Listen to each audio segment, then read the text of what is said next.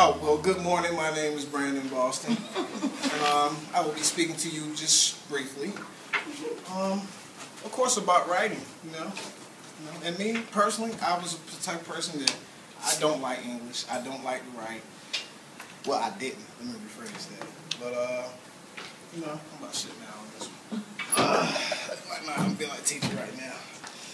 But, I mean, before taking Miss Walker class, I struggled writing, seriously, because I could never, like, um, I couldn't get, I couldn't fully express myself, fully express my thoughts on, into paper.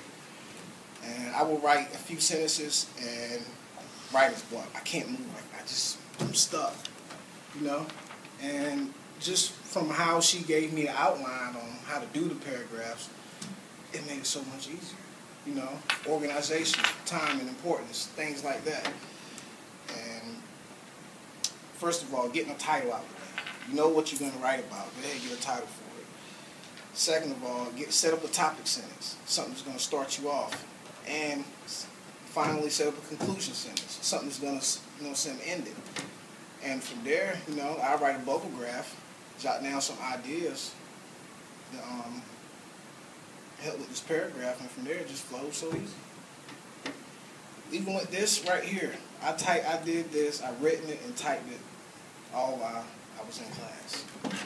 Yeah, like I ain't even do no work outside of class, and it took me like a day and a half. That simple, just by following the outlines. If I'm sweating little bits because I do get nervous talking to a lot of people while I'm getting filmed, and it's hot in here to me. But uh, yeah. What brought this about this morning is we were sitting here and I was grading his paragraph. He said to me, I wrote this in about five minutes. And I said, wait a minute. He said, yeah, I just did it in class. It was just, I just went right through it. And I said, no, I know darn good and well you filled out a writing plan. I know I saw an organization chart for you. And I flipped through his paper, sure it was. I said, right here, you did this. And he said, oh, well, yeah, but I did that, and that just made this last part so easy. much easier, so much easier.